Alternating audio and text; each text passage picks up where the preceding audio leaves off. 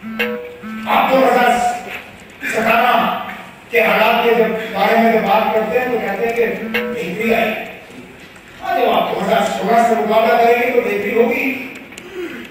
دو ہزار سولہ میں تو واقعی حالات بہت زیادہ خراب تھے۔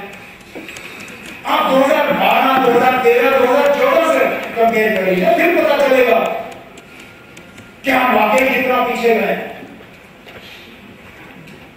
کسی حالات میں آپ نے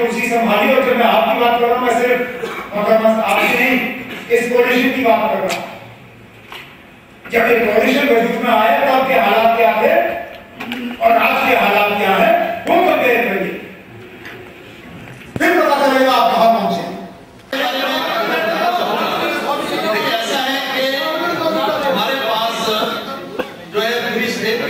صاحب کی تقریر ہوئی۔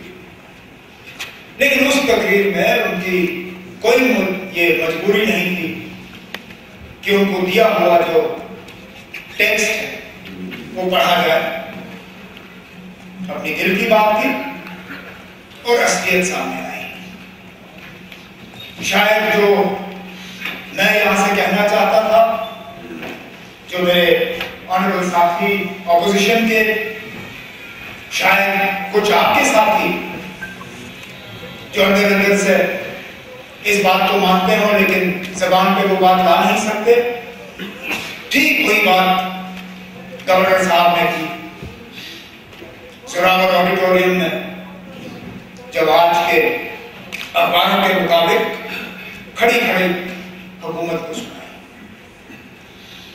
کہ ایڈمنسٹریشن کو ڈیلیوری جو ہے، اس کی طرف فوکس کرنا چاہیے۔